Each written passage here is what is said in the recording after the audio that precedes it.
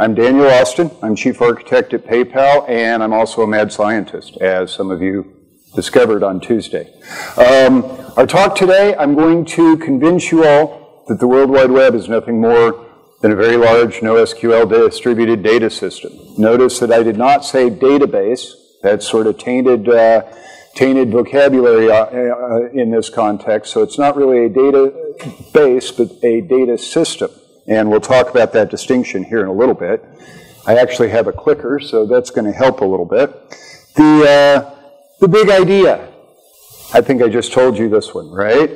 The web is the largest NoSQL distributed data system. Actually, it's the second in order, in chronological order, and we'll talk a little bit about that. The, um, when I was writing the slides, I debated whether I wanted to write more here, and then I thought a big idea only needs a few words so I left it where it was. The uh, prior to making this talk, and with every talk that I give, I sort of try to create a mind map, map my own thinking on this. And because the mind map for this talk was so complicated, I thought I would share it with you. This was actually created in iMindMap 6, and you can see that it keeps on going. I kind of cut it off a little bit here. These are all the topics that we're going to talk about today. No, they're not one slide each. But uh, I wanted to give you some idea of sort of the complexity of the thinking that goes on here, and I don't want to leave you with the impression that I've solved every problem involved in this space. This is preliminary thinking. There will be more interesting ideas, more conjectures about it as we go forward. So you're looking at a, wor a work in progress, but I wanted to give you an idea of how complex the thinking around these things really gets. The, um, just to deal with a little bit of the history of this, the www was not the first large-scale NoSQL distributed data system. That privilege actually belongs to the DNS system about 1983. This was our first very large NoSQL data system. If you think about it, it's distributed. Basically, we're using a bunch of flat files. And most people don't really think of it as a, as a NoSQL system. The uh, term NoSQL hadn't been invented at that point in time, and we weren't really thinking in that sort of terms. But this was our first big data system. And the web was closely following in 1989. I put in a little quote here. This was from Tim Berners-Lee's original proposal for the World Wide Web with Robert Cailliau. He did this while he was at CERN. I was there roughly at the same time. The, uh, the interesting part here was that I, I, had underlined the idea that he had put databases in there. Now, this was from an era when we still put a dash in the word databases, right? I don't think anybody would do that any longer. But even when Tim was originally conceiving the web, I think that he understood this, at least at an intuitive level, that this is really this very large distributed data system. And so there's a certain history behind this. I also noted that, and, and I just found this out two days ago, somebody stood here at this conference, NoSQL Now, and made a similar point three years ago, and talked about the web as a, a very large distributed database. When I looked over his slides, it was almost entirely about RDFA. And, and so his slides are very, very different than mine. His concept was very, very different than mine. These are two separate talks, but because there is prior art, I wanted to make sure that I brought that up and credit this person. His name is Robert Tenerife, and I'm not sure where he works because LinkedIn wouldn't tell me this morning.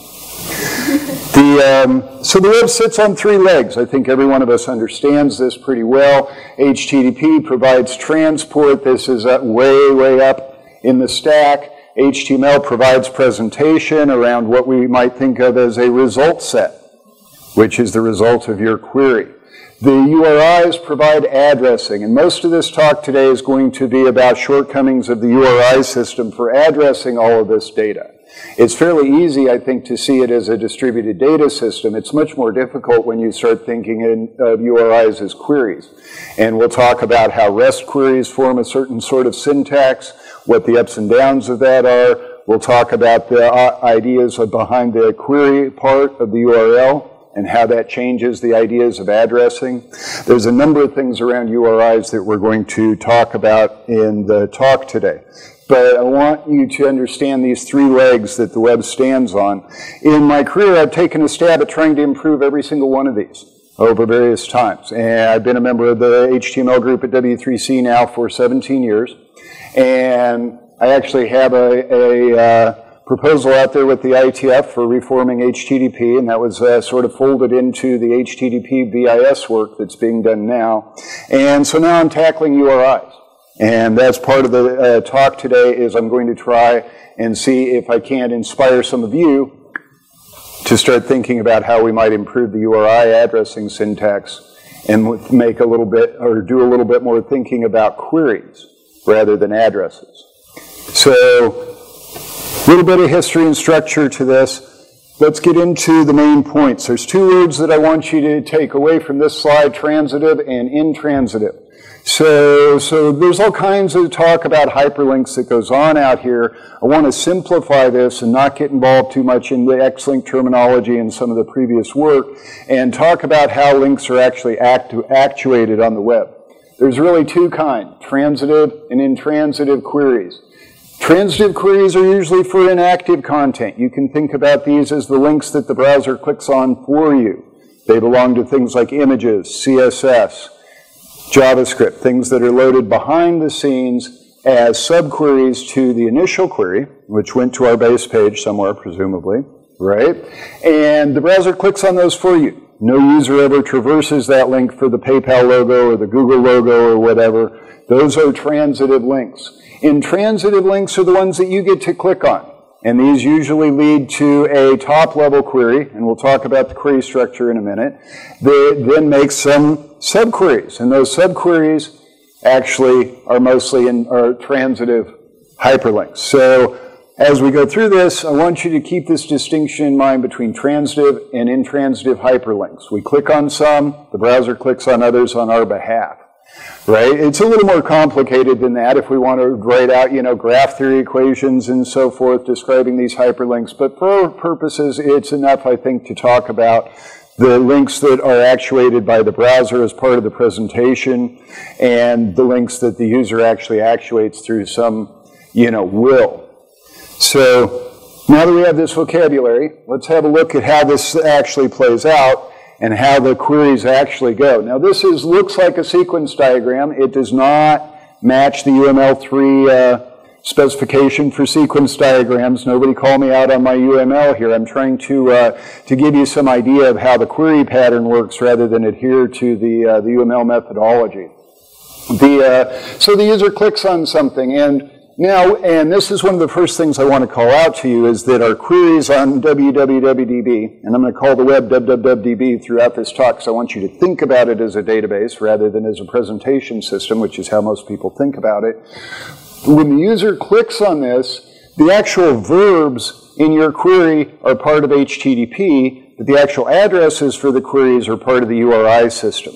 Now, when we do a query in, in some SQL language, Right? We don't do that. The verbs and the addresses are all in the same statement. The web splits these two functions between the actual verbs, get, put, etc., and the actual address of whatever resources are going to be addressed or manipulated.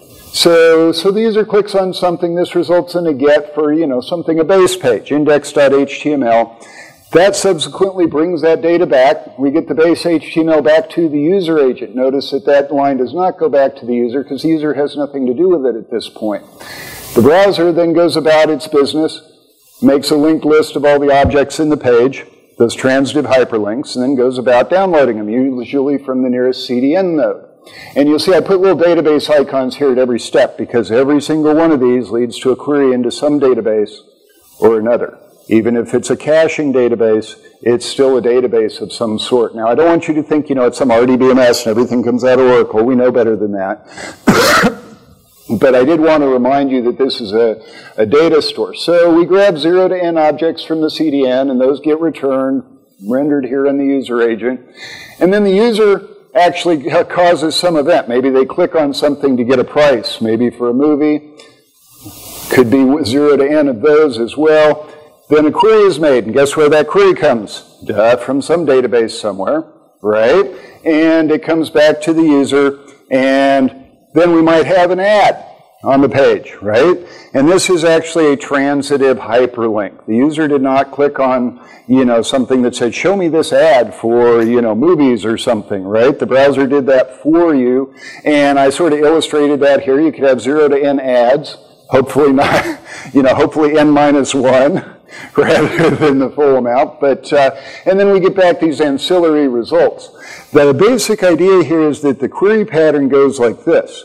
You make a request for a web page, you get the base page. You can think of this as control information, right? The control information has subqueries embedded in it in the forms of image links and CSS links and this sort of thing. Those subqueries are transitive queries. You don't have to click on them. They're embedded in that base page. The user's out to the CDN, goes out to you know, maybe calls an API here. We'll talk about the role of APIs as subqueries later in the talk.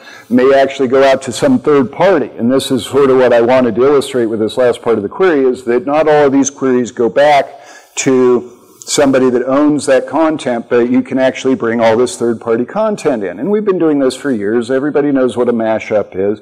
But when you think about it in terms of the query pattern as queries and subqueries, it starts making sense as a distributed data system rather than as sort of a presentation system.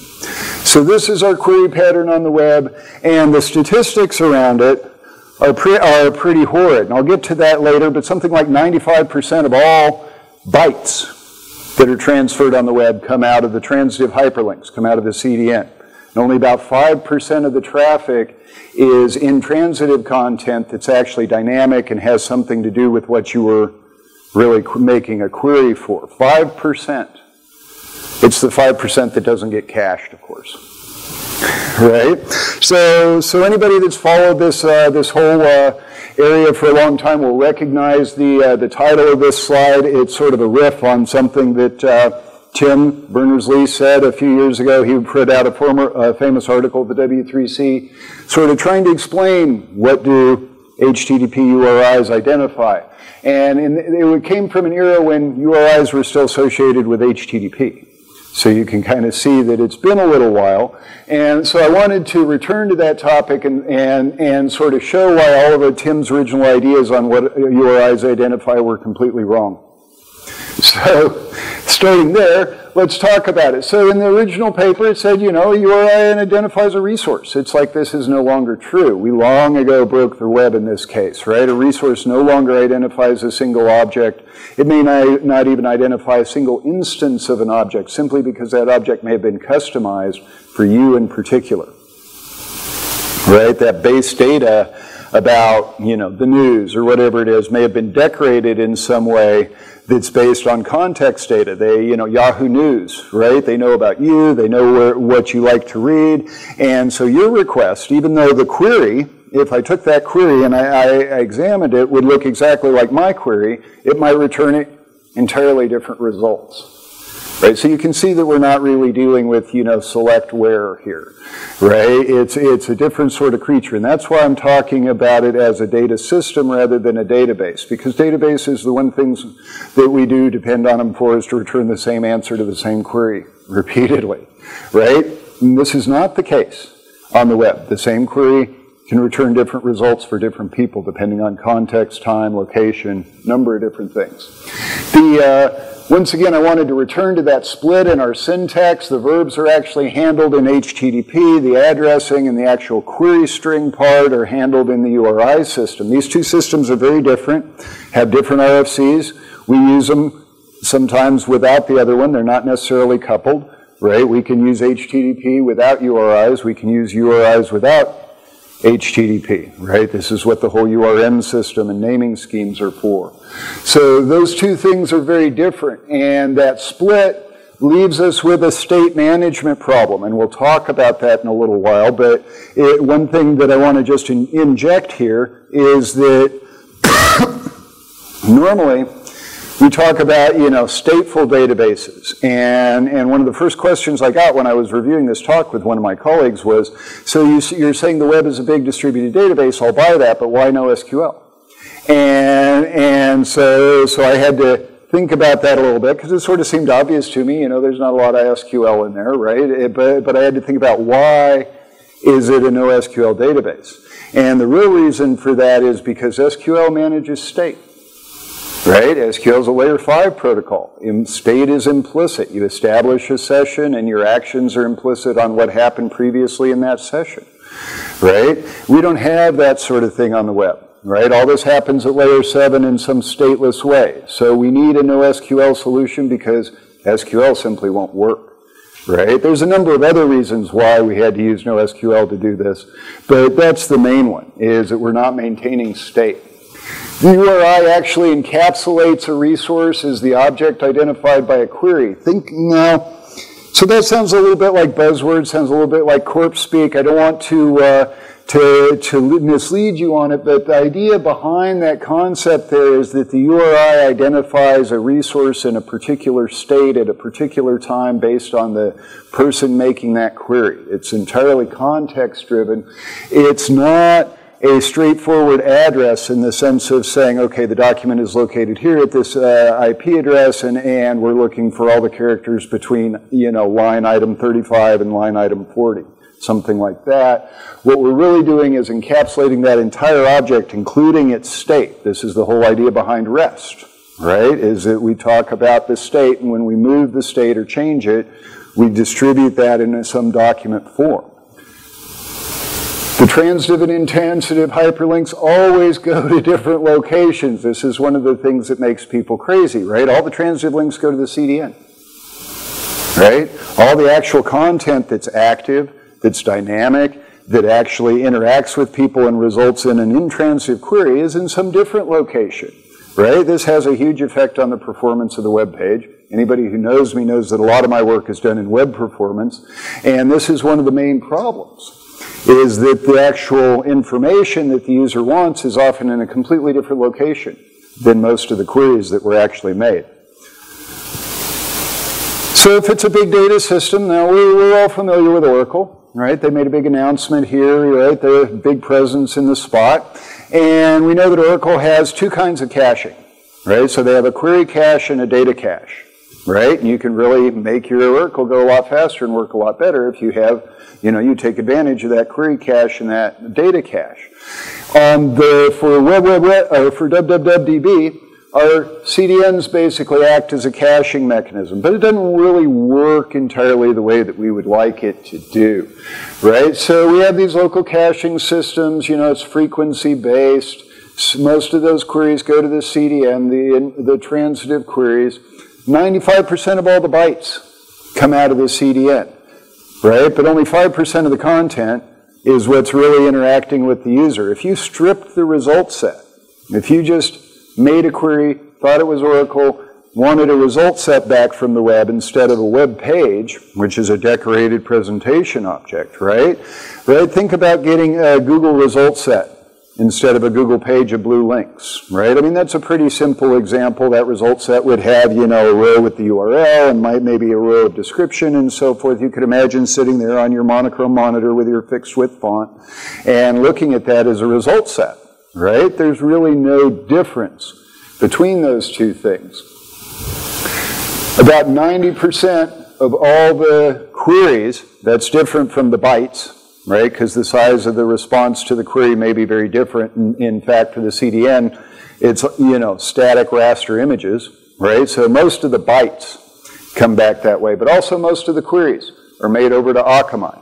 And I talked to somebody about, at Akamai about this and, and was talking to him about the query pattern and the number of queries that go to different places. And they think that it's unbalanced as well.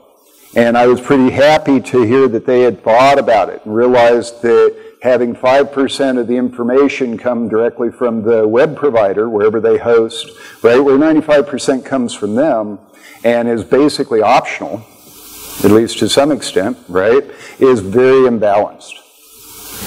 The, um, so APIs, we all have APIs. I work for PayPal. We have tons of APIs. Some of them are easier to use than others. I think that's basically true for everybody's APIs. It kind of depends on the age of the API and who's maintaining it and things like that, right? But we all have these. And if you work for a company that doesn't have an API, you know, I'm, I'm kind of surprised because it seems like, you know, they're growing out of the woodwork. Everybody has one. We want to think about APIs as secondary queries embedded in the web page. They're usually dynamic. URIs function as a selection mechanism. In our previous slide, I was showing a, a, a query for a movie. And that query might return some list of movies that are actually showing in your area, right? If you type in, you know, some movie name, uh, Pacific Rim or something into Google, what you'll get back is, you know, a list of all the movies that are playing in your area at some time.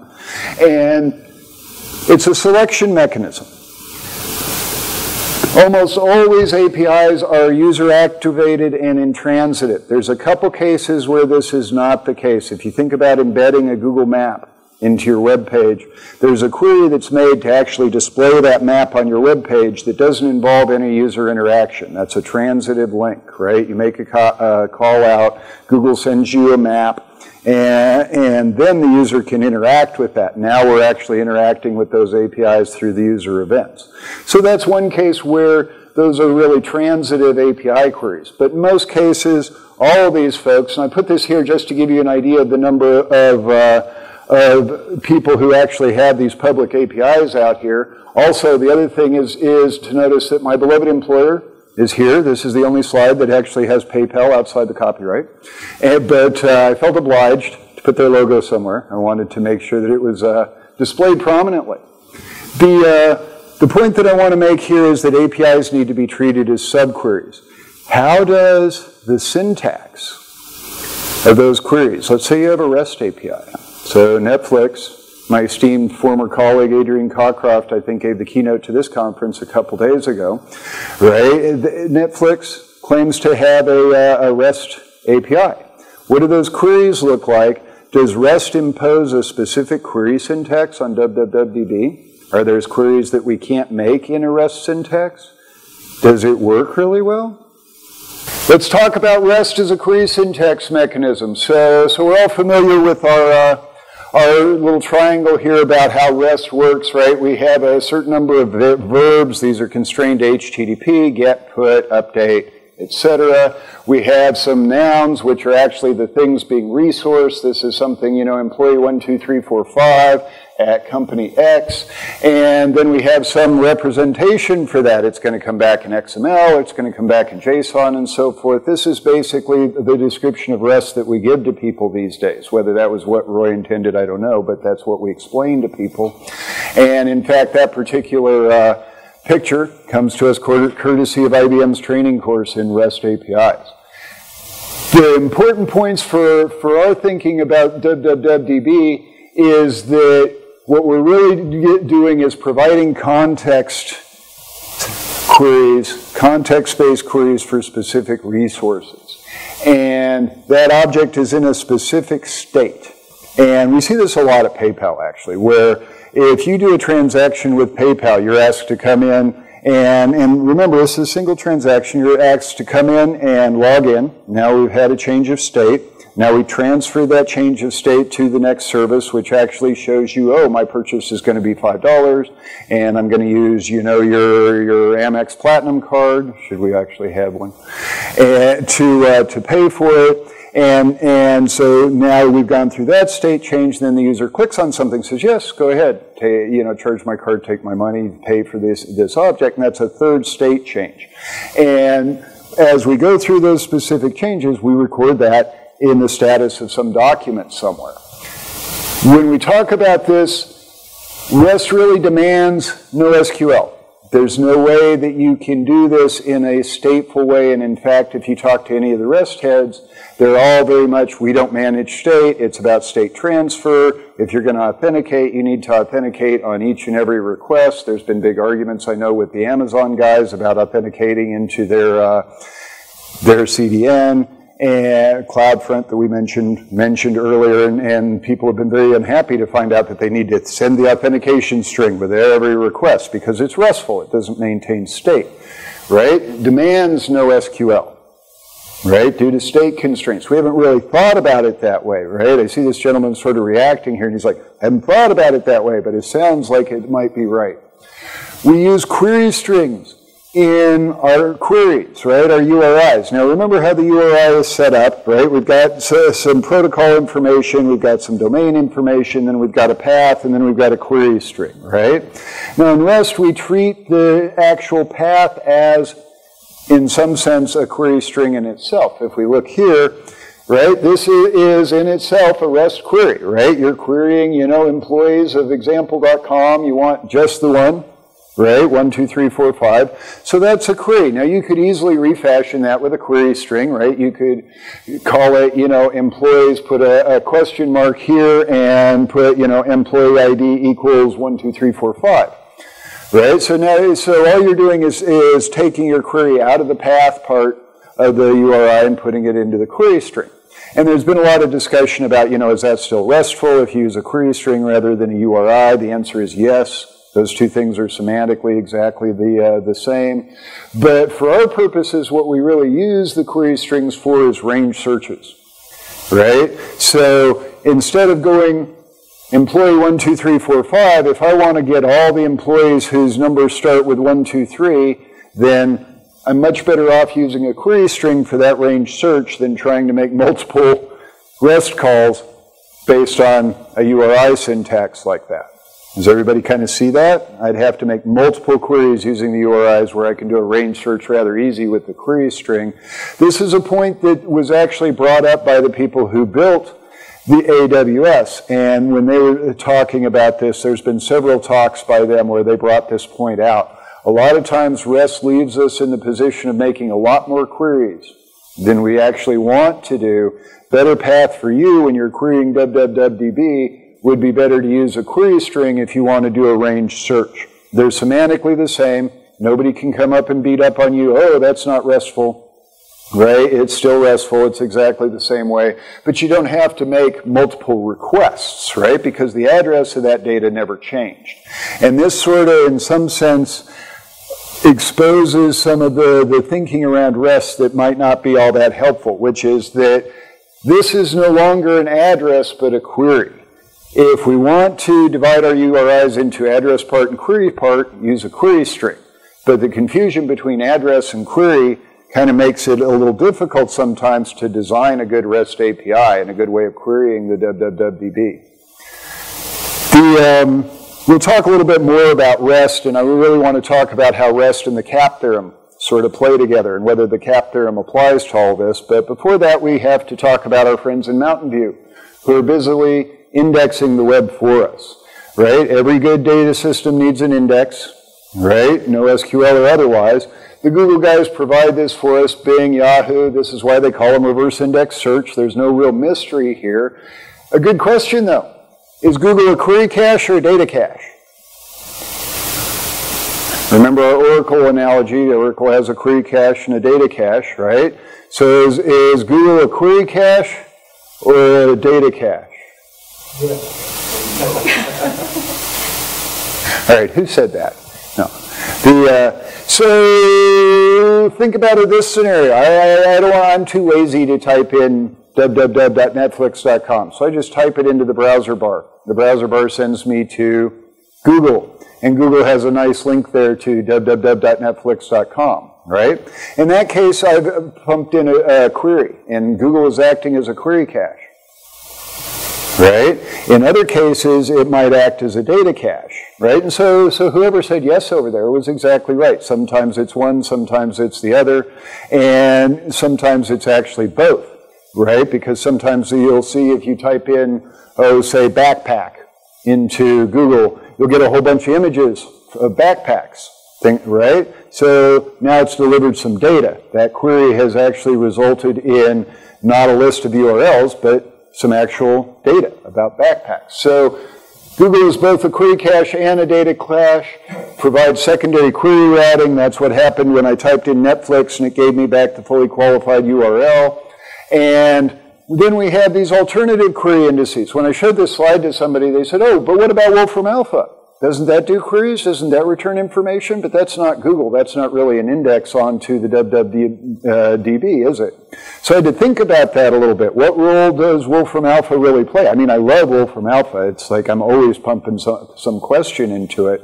And in my thinking about it, that was what turned out to be key, is Wolfram Alpha returns information. I never get a list of links back from Wolfram Alpha right? So Wolfram Alpha, I made a query and I got data back. It was a straightforward data query. They don't even decorate it very much. I might get a graph of a plot of something if I, I ask that kind of question. But it's basically a very simple set of data queries. And we've got some others of those. Index Mundi provides some information about uh, countries around the world. Twitter, in some sense, if you think about it, and these guys are at Twitter. Anybody here from Twitter? I'm not going to say anything bad about you, don't worry. The, uh, so the Twitter guys are well aware that they're actually back there running a reference database because people go back into Twitter and search for things all the time. Somebody said this yesterday and somebody said that yesterday. We've got the police and the, the government's out there actually tweeting, you know, things as they happen. So they too are providing an alternative query index onto the web. Their query index indexes people and data, right? Anybody here not have a Twitter handle? Okay, one person. All right, we're signing you up. but, but, but seriously, the, uh, the Twitter is actually a, an index on www.db, but it's on to the people rather than the data. So it's a, another different kind of query, right? So, so we queried for data with Wolfram Alpha. Index Mundi also is, a, a, data query uh, system. Twitter is actually an index onto a list of people like you and me and allows us to communicate with one another and then has some database back there where they store not all of it, but most of it.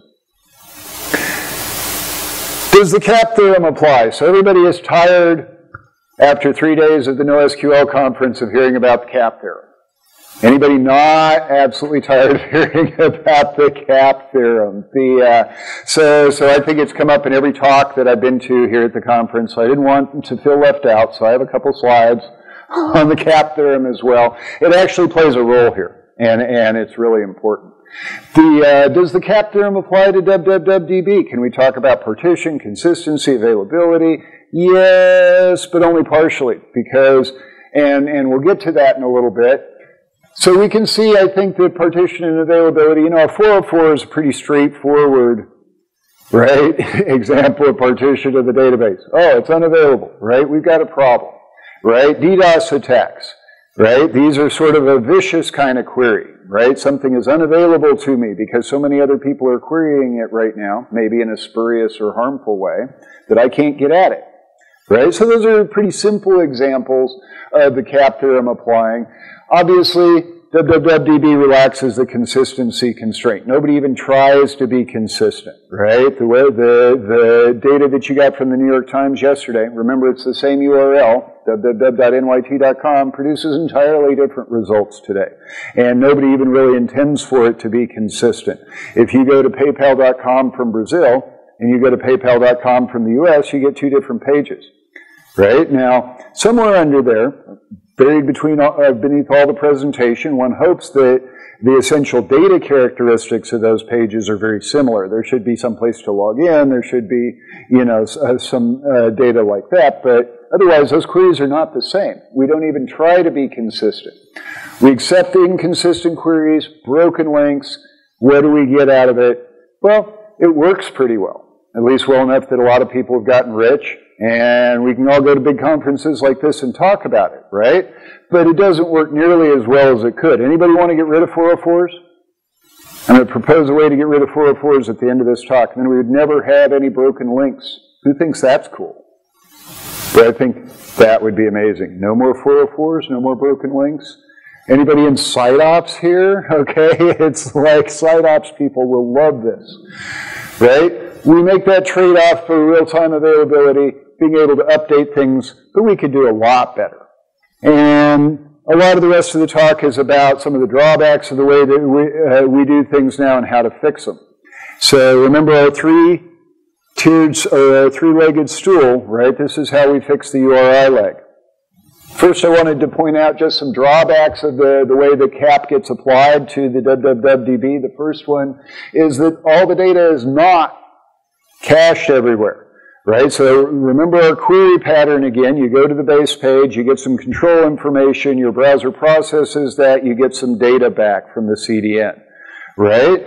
So that base page is often not distributed. It's served directly from the servers of the company that provided it. PayPal.com's base page comes out of servers that we own and control. They're located in some specific locations and no place else.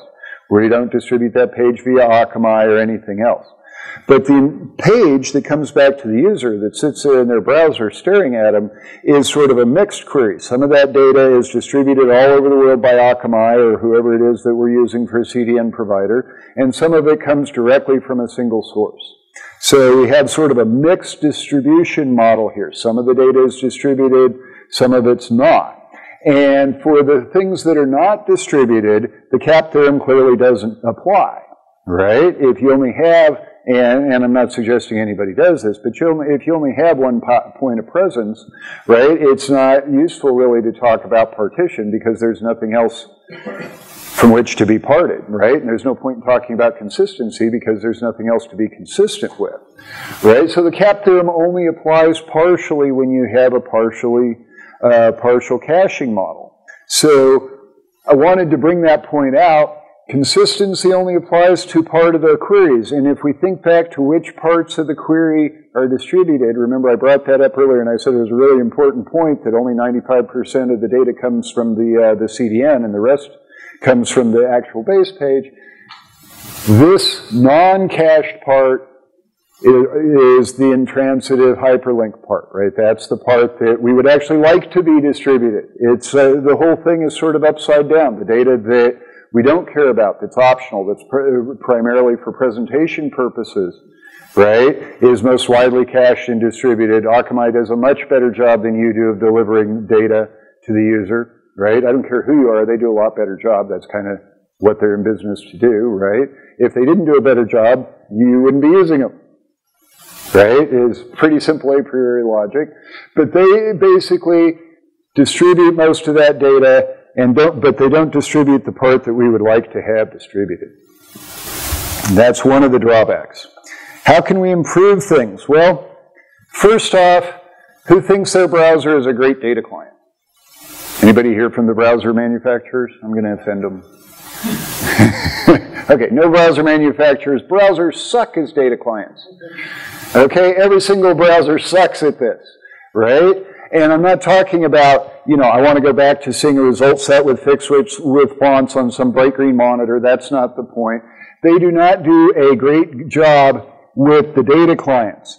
And part of the reason for that is that they're concerned with presentation.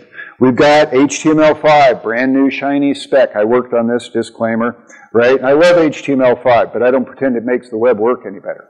And I don't pretend that it makes it any faster. It makes some things simpler, Web storage makes it really easy to store stuff on the local disk. That's nice. It's not going to get rid of cookies. I know I hear people say, oh, it's going to get rid of cookies. We don't need to manage state on the web anymore because now we have web storage. And I just sort of giggle. Right? It's not going to happen. As much as we detest cookies, we're not going to get rid of them anytime soon because the semantics that have arisen around them don't apply to web storage. There's nothing in web storage that says this cookie has to expire deal with cross-domain rules or any of the semantics that have sort of accreted onto the cookie concept. WebSockets, WebSockets are just another way of creating the WebDB. It does not fundamentally change the underlying situation, right? How do we make these things better? We make the caching and the distribution better. If you only have, and I'll go through the rest of the slides, but let me sort of finish talking about where I was, right? Why data clients are so bad, why they, how they could do a better job, how we could make the caching and distribution Thank you. How we can make the caching and the distribution of our data a little more effective. So, so let me ask, and without asking who you work for, does anybody actually have their stuff all in one data center? See, I got my hand up too. You don't know where I work. Right? So, so people do this, and this defeats the whole idea of being able to cache this stuff, right? Your users do not get a great deal right? No matter where that data center is, point to someplace else and those people get a bad deal, right? We suffer from this too. We're working on it. A lot of other people are doing so as well. We could do a lot better job at distributing that content by distributing the intransitive links, those queries. And to do that, we basically have to distribute the machinery that answers and responds to those queries. That means putting your machines from your company in some data center closer to the user multiple locations closer to the user. We can't really rely on the CDNs to do this for us, which is kind of what we do now, right? Is like we kind of throw the static stuff over to Akamai into the, uh, you know, onto your origin server somewhere, and the dynamic content, which is what we'd really like to have cached, never makes it. How can we distribute that dynamic content? The way is to have multiple data centers in different locations, right? It's all very straightforward. Reforming the URI system is really key to this. If we can't make intelligent and efficient queries onto www.db, we're not going to be able to actually do very well. And the way to do this is twofold. First, I just want to say this outright. This is going to be a little bit of, of a, uh, a shocker for people and whatnot, right? The web maintains state. Let's just build state into it rather than trying to pretend that we're stateless and then have to go and add all these things, cookies and all the other nodal mechanisms we have for maintaining state. If we could do that, we could have stateful queries and we could manage our URI queries much better simply by managing state. If we added state to our queries onto www.db, we would actually be able to maintain partial data sets on the user's machine we could maintain partial data sets at the CDN nodes and, and, ask for those selectively based on the context and state of the user's queries. There's a number of things that we could do by adding state. Another thing that we can do, and, and this is sort of being done, is simply to add more storage at the level of the user client. Web storage, the reason that I brought web storage up earlier in my talk was because that's exactly what we're doing. All right, so I think I've covered most of this part. I wanted to cover RDF really quickly because it always comes up in this context. People ask me about RDF, about the semantic web. Isn't that going to solve all of our problems? No, it's not. It, what the semantic uh, web really does is allow us to address things by what they are, right, what they mean, as opposed to some generic address right? So, and that's very helpful. It allows us to improve queries. It also slows things down right? And, and nobody ever accused it of being really fast. The, uh, let me get back up here. And of course, now I have to go back through all the slides. SPARQL is actually a language for querying RDF, and it reduces some of the query limitations that we have, but it's also not very fast. And nobody ever really intended for it to be very fast or to be the real query language for WebDB. And my claim is that cloud computing is going to do more to improve the overall distribution of content on the web than any amount of semanticizing, romanticizing maybe, with, uh, with RDF and the semantic web. I mean, I love W3C, I love Tim, I've known him for more than 20 years, but this is an area where we strongly disagree.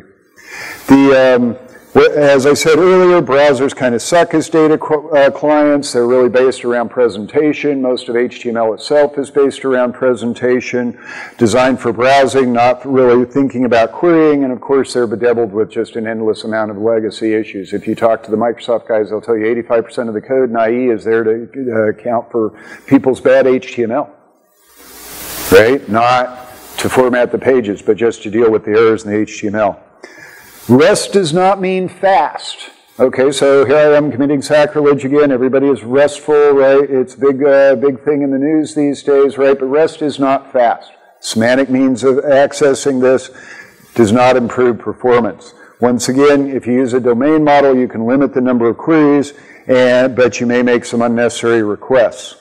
Query string semantics allows for joins, arbitrary comparisons, recognizing that some queries require state and just deal with it. Go with the fact that it's state. Distributing the intransitive queries more widely would also help. Reforming hypertext, enlarge the number of link types. Why do we only have one kind of link? This is where, what I was talking about fixing the 404s earlier. The trick to fixing 404s is to instrument bidirectional links, right? A link actually has to have something at each end, right? So our, but our links are now only tagged at one end, right? If they were tagged at both ends, the browser could simply gray them out if the other end didn't exist. No more 404, right? This has all been proposed. It's part of the Xlink proposal at W3C, which was a, has been a recommendation now for nearly 10 years. Nobody's implemented it in the browser, and I'm really frustrated because hypertext has not matured in the slightest since 1990. Not a bit. And I want to see some evolution in the hypertext space. Distinguish those transitive and intransitive links, right? Add that bidirectional linking. Enhance the semantics of the query string. Currently, the RFC basically says you can put whatever you want in the query string, including pictures of Bugs Bunny. Right? I'd like to see much better semantics around the query strings and URLs. Right? Open, leaving it open like that leaves an open box that anybody could put anything in. Most people put something really bad in there right? Much better to constrain the semantics to being something sensible, not leave queries to be open-ended in the way that they are now by the spec. Anybody ever try to use hypertext on your phone? I mean, seriously, right? You know that, that part where you were trying to scroll and you clicked on the link and you went off over here and then you had to go back and you had to come back. Hypertext didn't work on your mobile device, right? Embedding those links inside the content just doesn't work very well. And if you think about it, a lot of the work that we do on the web is about hiding hypertext, right? We put all these nice buttons over here and we've got the menus across the top and all that stuff is there just to hide the hypertext from you, right? This brings into question whether hypertext is really a good idea. Has it gone past its sell-by? Can we fix it? IPv6 and query routing. So the IPv6 space is large enough for us to enable any number of query schemes, right? The IPv6 space is so large that we could get every page on the internet an IP address and never miss any IP addresses, IPv6 addresses. Would you be able to find things through some DNS-like mechanism? I don't know. I mean, there's a proposal out there, there's an RFC out there for that right now. I did not write that, but uh, it seems like an interesting idea you could conceivably partition the IPv6 uh, namespace in such a way that it addressed particular kinds of things, right? All the queries about people are in this range. All the queries about products are in that range. I'm throwing out some speculative ideas. These aren't necessarily things anybody's working on. Um, scaling, every system has a scaling limit. Nobody really knows what the web scaling limit is right now, but we know it's out there unless we've uh, somehow managed to fix the laws of physics, we know that the web has a scaling limit. And we may find it by finding the first resource that runs short. I mean, that's typically how we do these things in machines. It's the memory or the CPU or something is the, is the, uh, the resource that we had the least of. It may be that the thing that we had the least of on www is good URIs. And that may be the place where the scaling needs to start. The uh, semantic mapping, the RDF and so forth, this is very complex and it requires a lot more work in the construction of that content than most people are ever going to be willing to do, honestly. So explicit state management would make this a lot more efficient. Final thoughts. I think, uh, is anybody not convinced that the web's a big uh, distributed data system at this point, after an hour of listening to me talk? Anybody not convinced? I'll be standing right out here, we'll talk about it. The uh, URI's address, uh, addresses a result set of a NoSQL query. We have these two kinds of hyperlinks. We can add power and simplicity to our queries by reforming the URI syntax, making some change. And there's a lot of evolution around HTTP and HTML at this point. Why is there no evolution in the URI space? That's where we really need to go. So that's it. Thanks everybody for sitting through the extra little bit of time.